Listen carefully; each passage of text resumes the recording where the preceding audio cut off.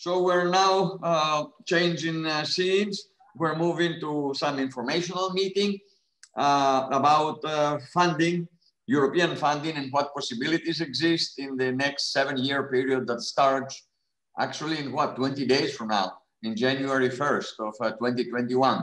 And uh, we have uh, George Megas from uh, the National Documentation Center in Greece. George is uh, uh, an NCP, National Contact Point, in several fields in uh, Greece. he's well known in Brussels circles, um, very cognizant of all the plans that go on in European Commission. And I'm sure we'll get some very, very useful information from him in the next few minutes. So George, are you ready? Uh, yes, yes, I'm ready. Thank okay, you, so Professor please, Irakis, and please. thanks the I thank the Complex System Society for inviting me. And I will share my screen now. I will try to be as quick as I can. Uh, just a second.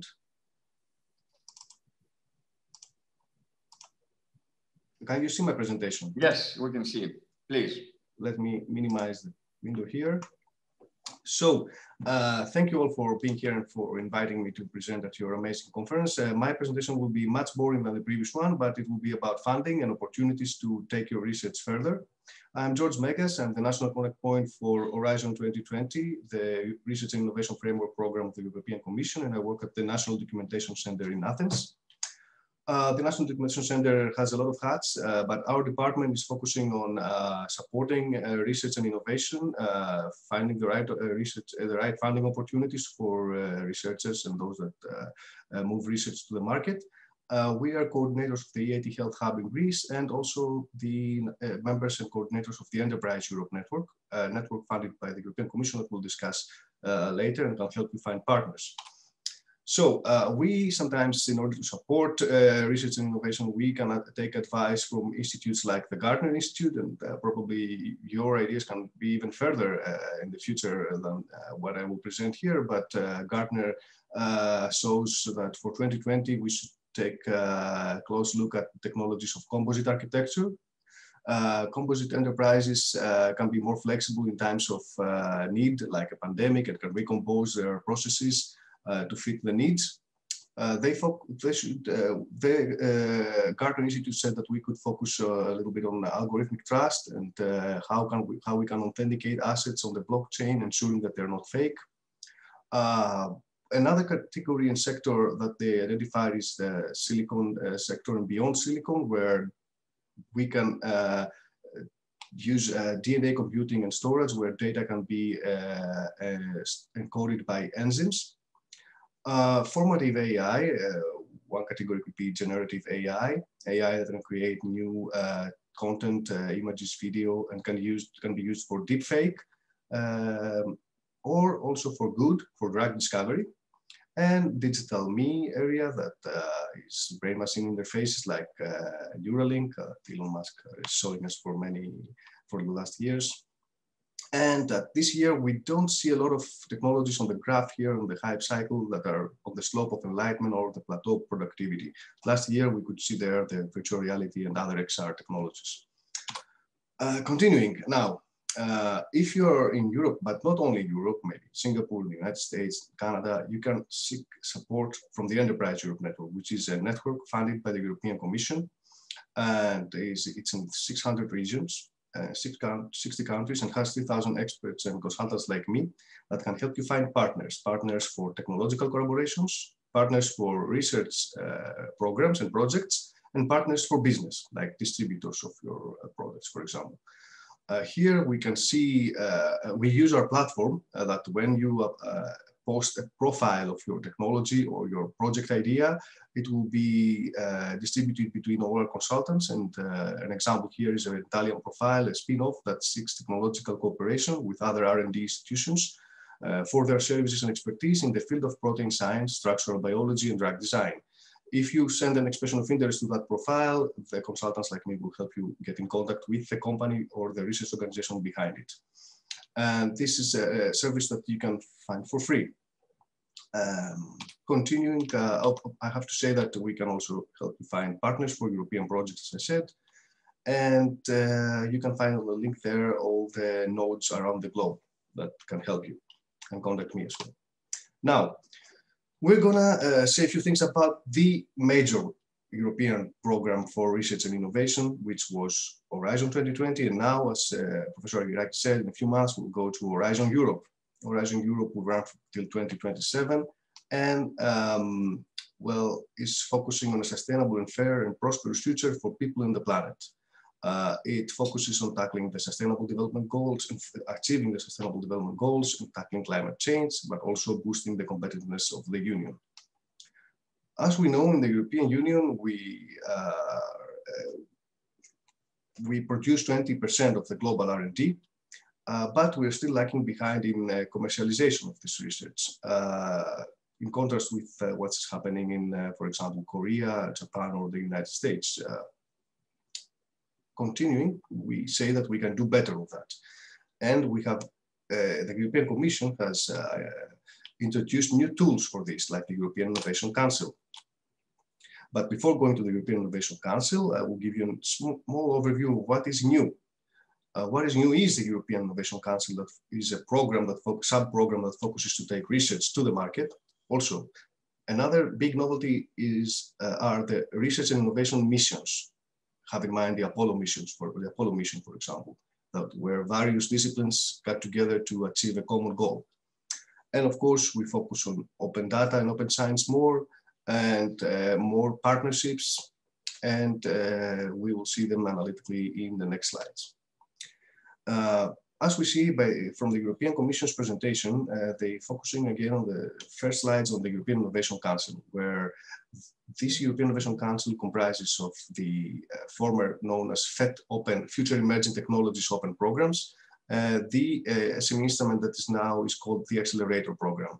The FET, uh, the Pathfinder Program, as it's called now, is focusing on beyond blue sky research, uh, something extraordinary, something that is cross-disciplinary, that can potentially lead to technologies. And there you can apply as a consortium for innovative ideas like uh, uh, I don't know, um, 3D printed organs or 6G uh, technologies or anything even further than that. And the accelerator, which is one of the tools of the Horizon Europe and Horizon 2020 that allows for single SMEs with innovative solutions to apply and receive funding up to uh, 15 million uh, that we will analyze a bit further. This is the tool that we want to take technology readiness level six solutions to the market. Um, will uh, continue. Uh, and we said that a, a novelty here is missions. Uh, what are missions? Missions is a portfolio of actions across disciplines intended to achieve a bold and inspirational and measurable goal within a set time frame uh, with impact for society and policy. What is important is to see that you can have a project, a European project with your consortium, with your colleagues, and it can has its own deliverables and KPIs. But in the end, it will have to achieve the KPIs of the main mission that is belonging to. Uh, here are the missions. Uh, probably you may be familiar with those if you're from Europe, the mission to, tackle, to, to tackle cancer, to uh, the mission of soil, health and food. Uh, we see what desertification, desertification is doing. Uh, climate neutral and smart cities, healthy oceans, seas, coastal and inland water, and adaptation to climate change, including societal transformation. Uh, continuing, another focus will be on uh, European partnerships. Uh, those that are from Europe will know probably co-funded uh, partnerships that are like joint undertakings, where the member state will have to contribute a certain amount towards a joint undertaking that can then the, the, the, the, researchers of the country can apply with other international consortia like the Clean Sky joint undertaking or ECSEL for electronics and others. Other co-programmed uh, that are based on memorandum of understanding are also introduced uh, that we will see further when the work programs are here. And institutionalized uh, partnerships. Some may remember PRIMA project, uh, deriving from the Articles 185 and 187 of the Treaty of uh, the Foundation of the European Union. And of course, the European Institute of Innovation and Technology is based on institutionalized partnerships. Uh, the Commission gives some money, uh, private companies and organizations and other uh, institutes give some money and then create the variety of projects. We will discuss about it further if we have time. continuing, uh, here are some, uh, let's say, sectors that can we can have institutionalized European partnerships, uh, like metrology, uh, clean connected mobility, uh, health innovations, and key digital enabling technologies. Um, you should pay attention to all the work programs and areas and contact your national contact points for information about this. Um, continuing, this is the slide that you would have to pay attention to. You will be seeing it a lot the new uh, framework. The new framework program uh, has three pillars as the previous one. The first pillar is similar to the previous one. It has the European Research Council, uh, the Marie Sklodowska Curie actions for the mobility of researchers, research infrastructures. The second pillar now, instead of industrial leadership, is named Global Challenges in European Industrial Competitiveness. And it's uh, creating clusters. One of the clusters is health. Uh, the second cluster is culture, creativity, and inclusive society. Uh, civil security for society. Cluster number four is digital industry and space. This is the cluster that I'm more related to. Climate, energy, and mobility, food, bioeconomy, natural resources, agriculture, and environment. So each of these clusters will have its own work program. Um, and pillar number three includes the, it's called Innovative Europe, and it's a pillar that will take all the rest to the market, hopefully. And it has the European Innovation Council that we already spoke a little bit about. Uh, the European Institute of Innovation and Technology, EIT, and its knowledge innovation communities, EIT Health, Climate, Digital, focusing on startups, and the knowledge triangle integration, and something new, which is the European Innovation Ecosystems. Uh, we discussed about the excellent science, and uh, the ERC will have 16.6 billion, Marie Curie will have uh, 6.8 billion, and RI will have 2.4 billion for integrated and interconnected world-class research infrastructures, hypercomputing infrastructures, and others. Uh, the clusters we discussed about this and will take most of the budget. 52.7 billion was proposed. Uh, there might be changes again. Until we have the final program, we cannot say for certainty that these are the final numbers. And here I'm analyzing a little bit more the uh, cluster of the global challenges. And we can see when we say about digital industry and space, what do we mean? The Commission wants to focus on manufacturing technologies, advanced materials, advanced computing and big data, low carbon and clean industry, and other. And the presentation will be available for you to, uh, to read after the event. And now, uh, regarding the innovative uh, Europe, we spoke about the EIC and EIT. Now, European innovation ecosystems, what will they do? They will support you connect, to connect with regional and national innovation actors. They will support, for example, your regional clusters, incubators, accelerators, and other players to connect uh, together and also to connect with other international players and ecosystems. Um, continuing, now um, I will have to say a few words about the European Innovation Council since I spoke about it a lot.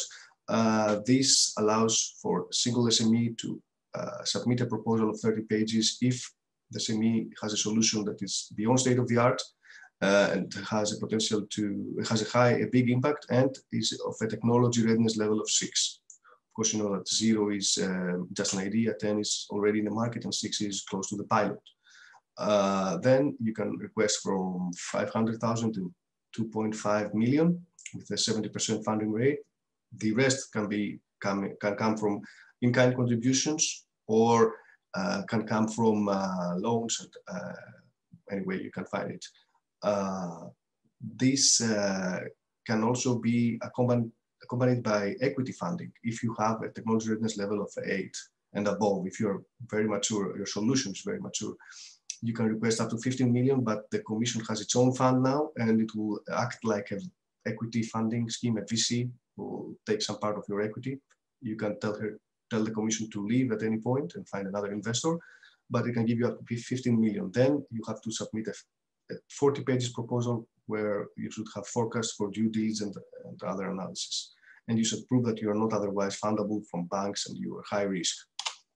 For example, here is a Greek uh, SME that has received uh, funding from the accelerator, as it was called in the past. It was called the Small Medium Enterprise Instrument. This is Brite Solar that has solar panels that uh, create electricity, but also allow ultraviolet uh, radiation to go into greenhouses, stay there. what else is on the program? Um, open science. Open science is mandatory and uh, will uh, uh, projects will have to uh, provide open access to their publications. And of course, uh, open uh, access to research data is, should be ensured. You should upload your data, as you know, metadata or the publications from Zenodo and other repositories. Uh, continuing, uh, the Commission suggests that there will be collaboration amongst other European programs, like uh, even structural programs, ERDF or LIFE programs, Environment, Erasmus, and Single Market Program that also governs the Enterprise Europe Network as I presented to you before. And now, what is already open at this moment? At this moment, the only program that is open is the European Green Deal uh, are those that you can apply to, and they are derived from the European Green Deal, actually, policy papers that have a focus of making the EU climate neutral by 2050. Uh, the European Green Deal also focuses on restoring biodiversity and cutting pollution, investing in environmental friendly technologies, supporting the industry and innovating, boosting the efficient use of resources, clean and circular economy, cheaper and healthier forms of transport, decarbonizing the energy sector, and uh, energy, smart energy buildings and others. Uh, those are the uh, calls, those are, those, are the, those are the topics that are now open for submission. And uh, if you have a consortium, you can apply here, but the difference is that you will have to use financial support of third parties, like do your own competitions and awards after you have been granted the project and include more SMEs in the whole concept and uh, you have to have a, a, higher technology readiness level uh, of outcomes, uh, outcomes with higher TRL. Usually in Horizon 2020, in research actions, you requested to have a, a, TRL of four or five after the end of the project. Now you need to have a six or seven. So they need more practical solutions here. Examples are like climate resilient innovation packages for Europe or towards a climate neutral and social innovative cities, preventing and fighting extreme wildfires, green airports, and others.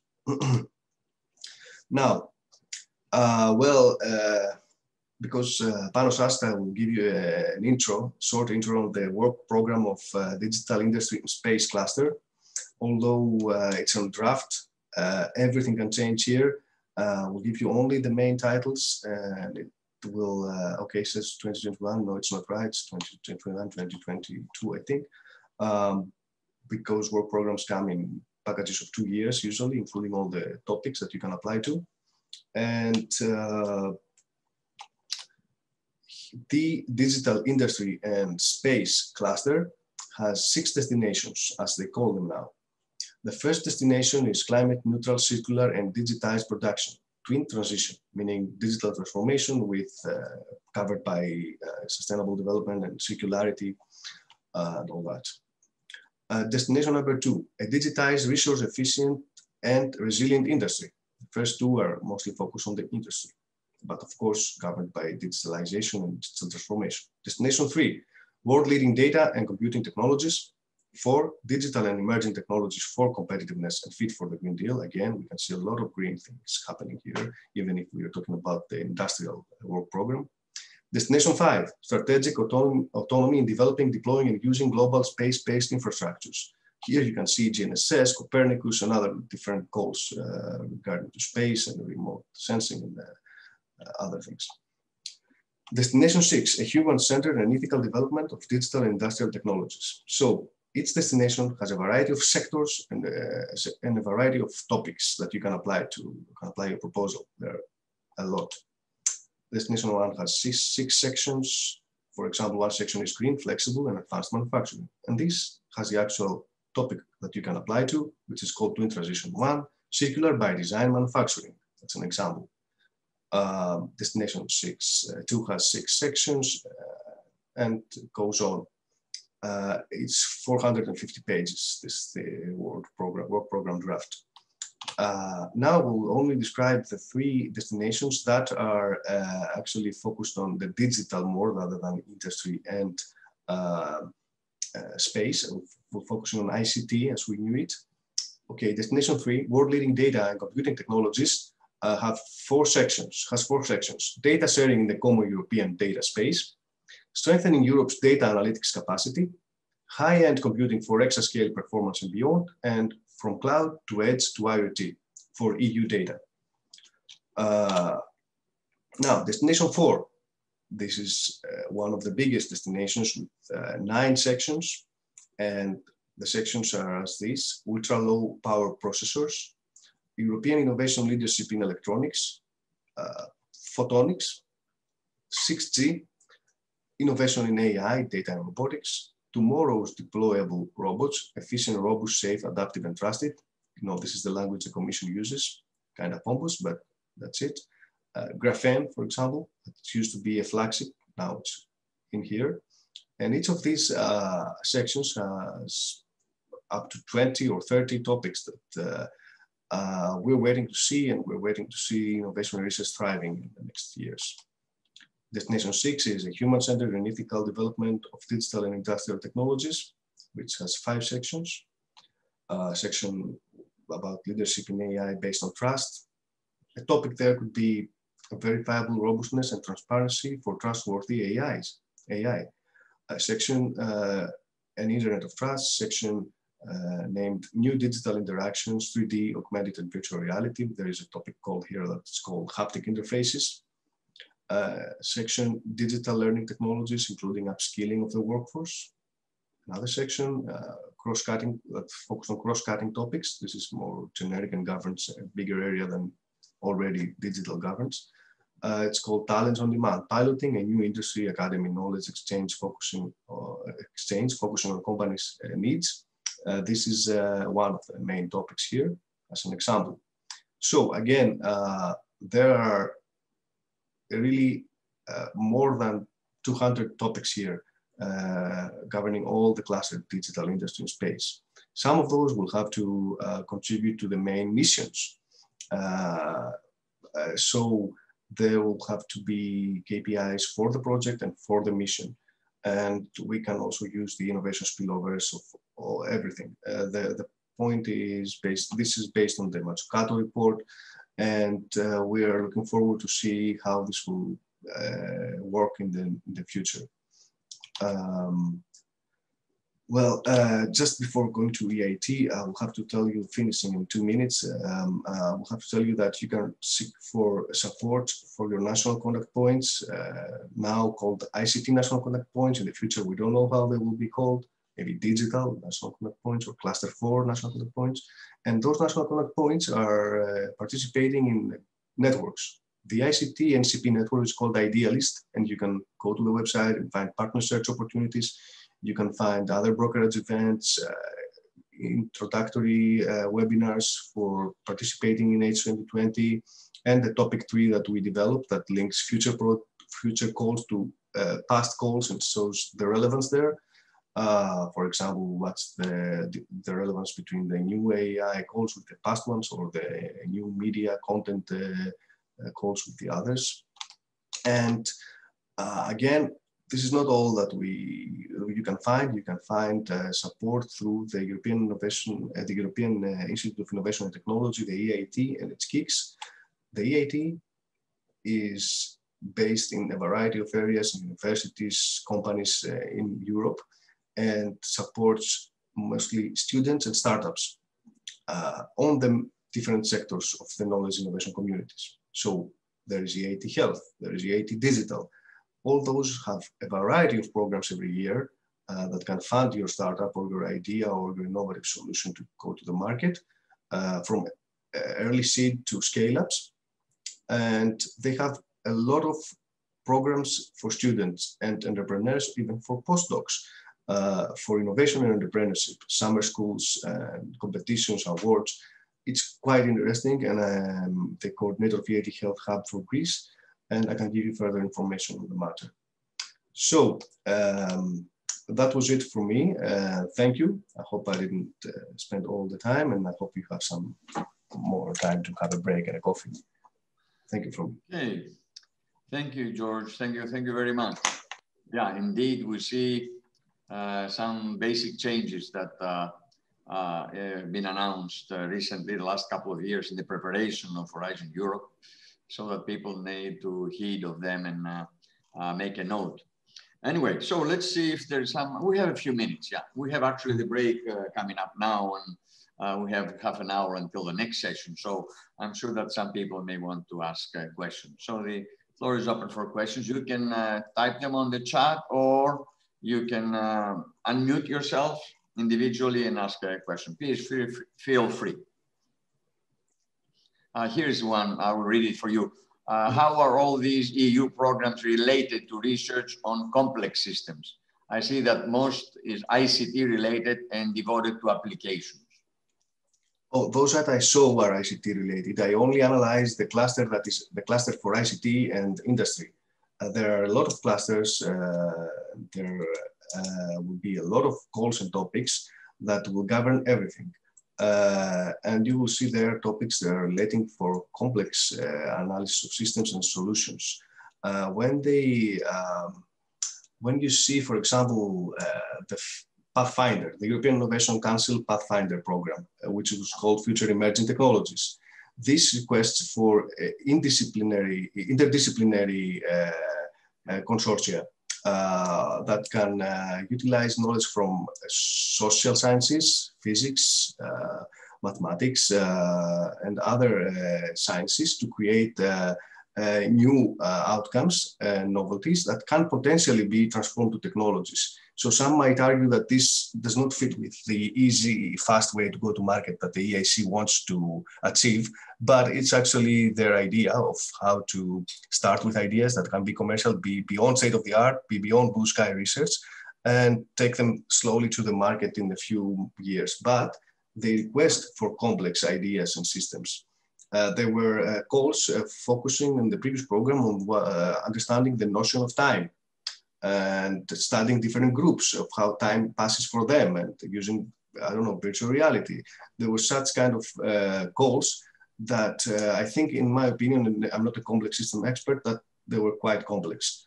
Um, or even that you can find complex, uh, uh you can find uh, actually uh, requests for resolving specific challenges that are quite complex, maybe even in the agri-food sector. I've read somewhere that cybernetics can be actually a term describing the uh, system of the ground and soil, what happened, what is happening there, and how uh, to actually. Uh, we saw before how to preserve nature and uh, how complex it can be.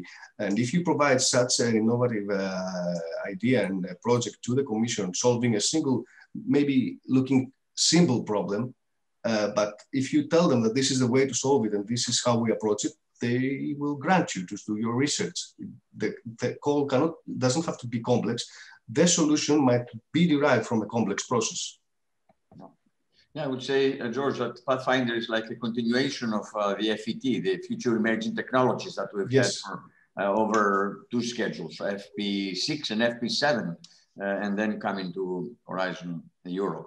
So there, there is, there are possibilities, yes. Interdisciplinarity is strong, I would say. This is what has been announced uh, uh, since the last two years in different announcements. Yes, um, are there any changes in how ERC calls are defined in the next uh, that's what also Professor Argyrakis asked me to say a few words about. But since I'm not the national contact point for European Research, European Research Council, uh, I don't have a lot of insights on that. I believe that it's going to be, it's going to stay similar to what it was, but I advise you to call uh, the, to contact your national contact points for ERC. In my organization is Dr. Cristina Pascual, for example. If you have any questions, you can send them to me as well, and uh, I can forward them to the network of our collaborators and partners, because I don't know the many differences uh, uh, on this uh, specific sub-program. I'm focused mainly on EIC and uh, the digital cluster. Yeah. Maximilian, please. Yeah, I've I got a question which is uh, you know, would have been too convoluted to write up. So in the beginning of your talk, you were talking about composable enterprise, formative AI, meaning generative computing, and also beyond silicon, are sort of at the cutting edge right now, right? But if you look at the EU program as it is right now, you want to go straight to the market basically with the Pathfinder programs um, there is no composable enterprise in there, but we're still like bucketized. Like culture is its own little thing and society is in the next little thing, and uh, and and technology is the next little thing, and so space is in the next little thing, and so. I think many in the audience had this experience probably. Uh, the more multidisciplinary you get, the more improbable it is to get funding in essence in this kind of landscape. And so the constant kind of uh, struggle we have, which obviously you know not many people talk about, but um, we have seen as as as people who are doing research, as people who are reviewers and panelists in in in the ERC and whatever. So the key thing is like there is a problem, a common problem. I think the research infrastructure has, the researchers have, and society has, like how do we actually fund these kind of things that are really far out that you can probably not have an immediate cell phone application in two years. And at the same time are multidisciplinary and complicated and bring all these things together. And basically relegating the kind of complexity research to the FET Pathfinder thing and that's it is actually really, really narrow compared to the amount of funding that goes to really specialized approaches. So one, this is like sort of a question to you, like if you have a, a remedy for this, and it's also sort of uh, a call to the community here because it's very rare to have that many multidisciplinary people in the room.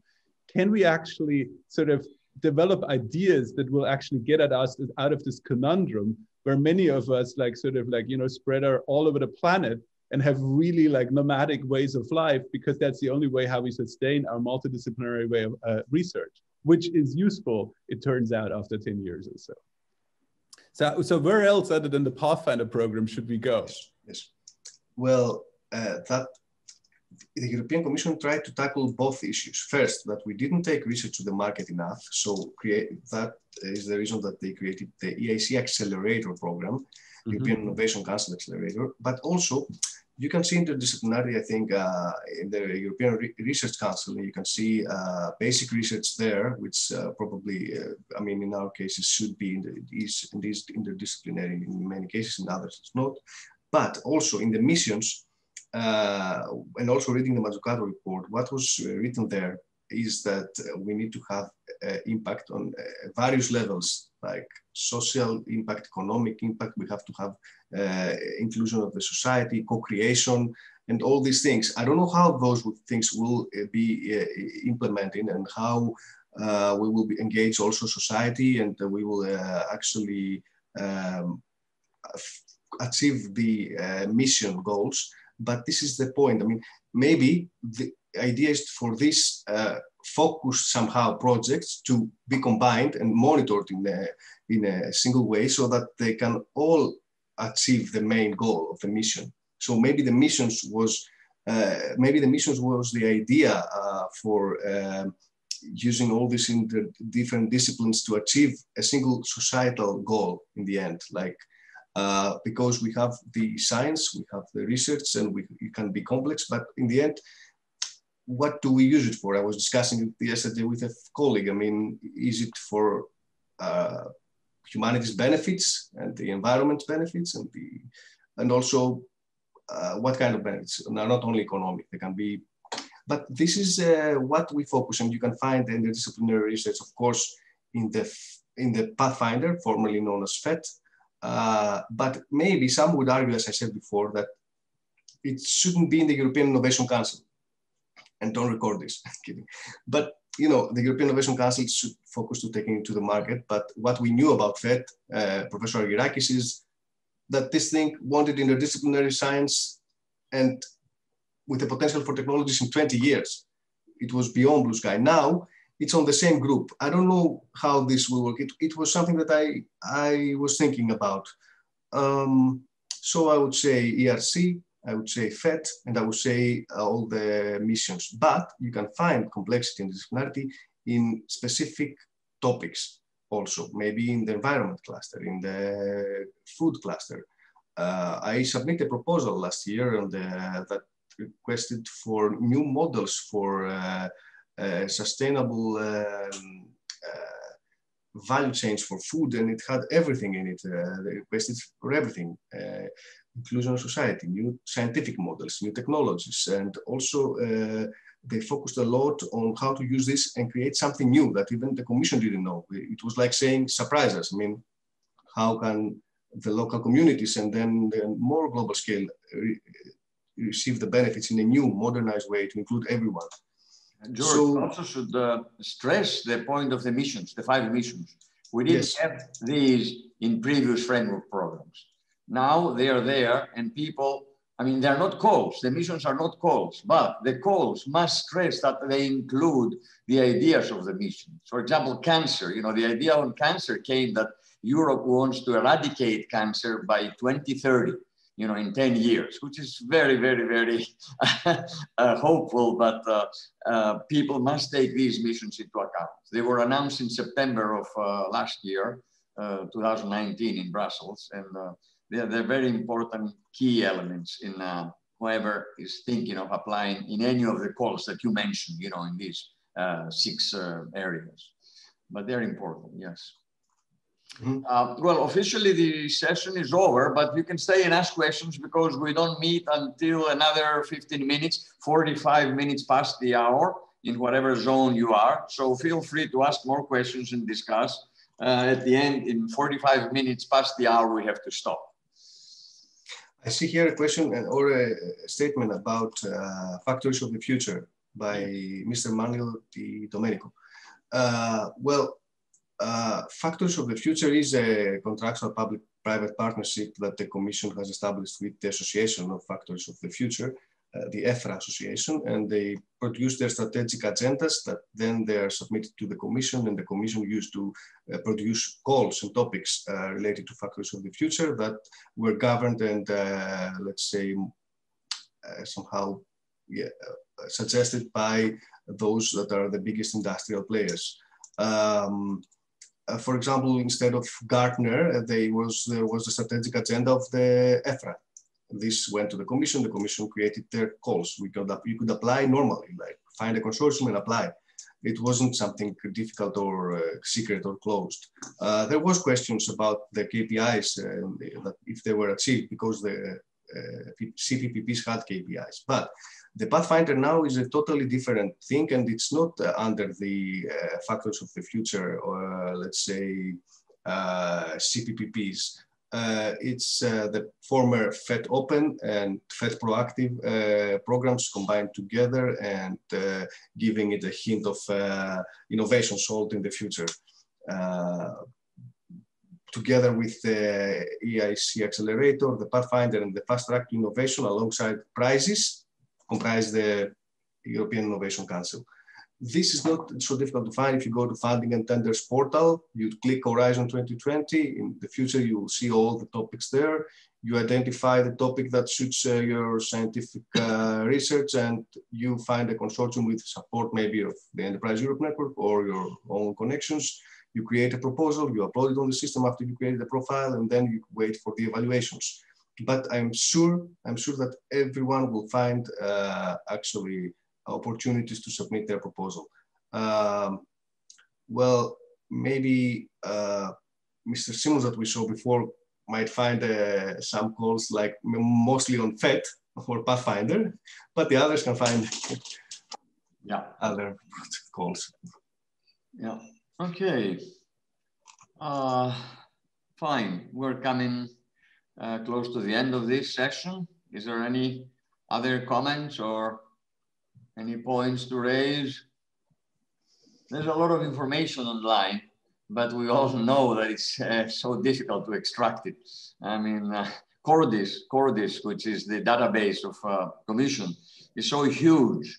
Uh, so people need to devote uh, several hours, several hours and a lot of time to, to decipher everything that is in there. Point is though that uh, Brussels, the Commission, they do put online everything. Yeah. Uh, except the work program that I showed you. Like you to help us out, George. Yeah.